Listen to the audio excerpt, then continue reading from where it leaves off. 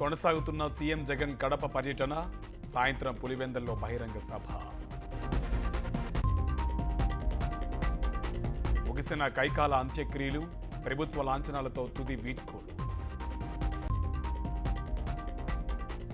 నిరసనల మధ్య బడ్జెట్కు జీహెచ్ఎంసీ ఆమోదం ఆరు వేల రెండు వందల ఇరవై నాలుగు కోట్ల బడ్జెట్కు council green signal.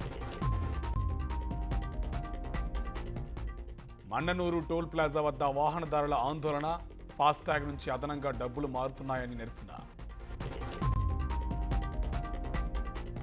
కోవిడ్ భయాల నేపథ్యంలో కేంద్రం కొత్త నిబంధనలు విదేశీ ప్రయాణికులకు కరోనా టెస్ట్ తప్పనిసరి చేస్తూ రూల్స్. చైనాను ఉనికిస్తున్న కరోనా మహమ్మారి క్వింగ్ డావో నగరంలో బెడ్లు దొరక్క రోగుల ఇబ్బందులు.